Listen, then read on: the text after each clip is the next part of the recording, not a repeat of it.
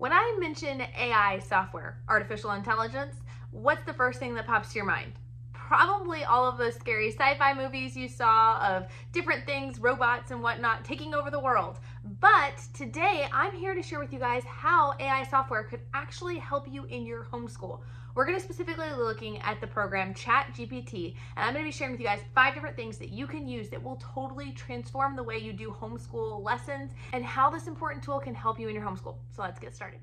So first, let's talk about what is ChatGPT. Like I said, it's an AI software that is totally free and it's kind of in the testing phase right now. I'm sure it's going to grow and change as we go throughout the years, but right now it is a totally free website that you are able to utilize in your homeschool. And one of the first things that you can do with this is actually to help you create lesson plans. Now this could be lesson plans that you use in your home or lesson plans that you use in your homeschool. For instance, I asked ChatGPT to give me a sample lesson plan of World War II, and this is what it gave me.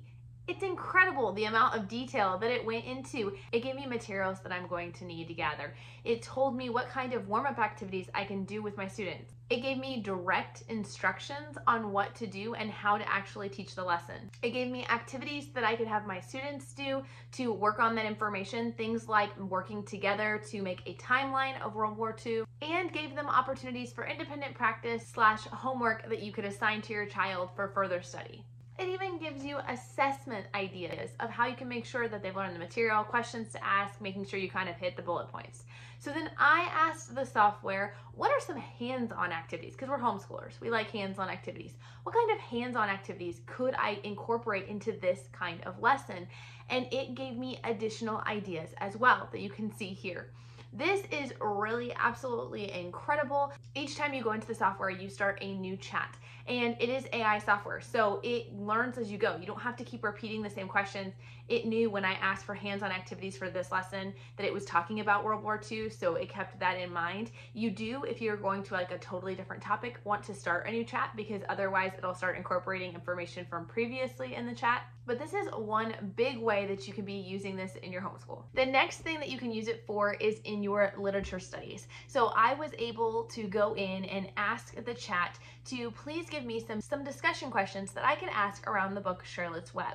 You can also ask it for book summaries or ask for potential writing topics from a specific book. And you can even put age parameters around it. So you can say good discussion questions to have my second grader answer about reading Charlotte's Web. Speaking of asking about specific ages, I found a really cool feature where you can actually ask the software to help you explain a difficult topic and then you can give it an age. So for instance, I asked it to give me a simple summary of the US government for a 10 year old. And this is what it gave me. It went into what is the three branches of the government and what are some easy explanations to explain this to a 10 year old. After it gave me its great explanation for a 10 year old, I could have asked it more questions. I could have said, can you expound a little bit more? Or can you give me more information? And it would have continued going. Or I could have asked for what are some great learning hands-on activities for how I could incorporate this into our lessons. But instead, I asked it the question, okay, how would you explain this same information, but for a three-year-old? And this is what it came up with. The United States is a big country with lots of people living in it. We have a special group of people called the government who help make sure everyone is safe and what they need and have what they need. The government is like a big puzzle with different pieces. One piece is called the legislative branch, and they make the rules for the country. Another piece is called the executive branch, and they help make sure the rules are followed. The last piece is called the judicial branch, and they help decide what happens when people don't follow the rules. All these pieces work together to make the country run smoothly. That's a pretty good explanation. And I just think this could be really, really neat as we're explaining things to our kids. If they're having trouble, we could possibly use this. The fourth area that I see it being helpful in our homeschool is being able to ask specific questions. Like one question I hear a lot is, well, what does my seventh grader need to know? Now, it's up to us. We are the homeschool parent, but sometimes we like to have a general idea of what do typical seventh graders learn, and then we can decide if that's something that fits with our philosophy or not.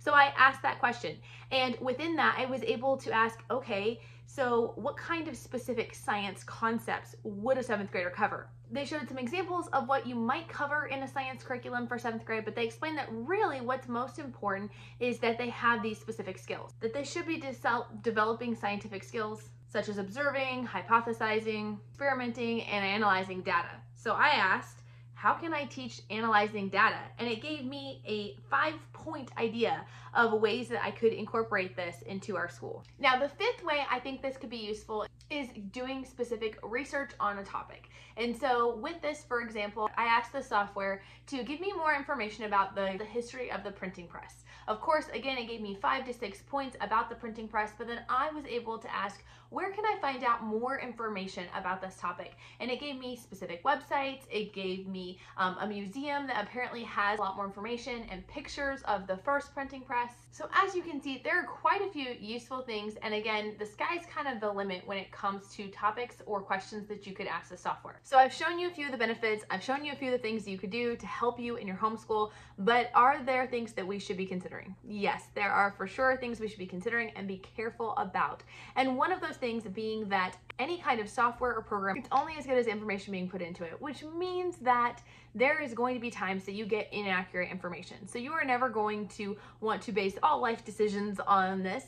You're going to want to fact check things, especially depending on what purposes you're using it for. But if you are looking to brainstorm topics for you to teach on or get general ideas of activities or information, this really can be a helpful tool. We also have to understand that there probably are going to be some biases in the program and obvious limitations. We would never want to become dependent on this where we were incapable of making our own lesson plans or doing our own activities. Obviously, this is a new technology and there's a lot about it that we don't fully know. And because of that, I will not be allowing my kids to have any access to this information or to this website at this time. It will be purely a teacher tool that I use in my toolbox because I do think this does open up a lot of opportunity for shortcuts, for cheating, um, for a lot of things with our kids where they could end up not learning the information um, that they need to be learning. And so I don't want to provide that temptation or that downfall for them at all. And I would caution you in that area as well. However, I think for a parent with discernment,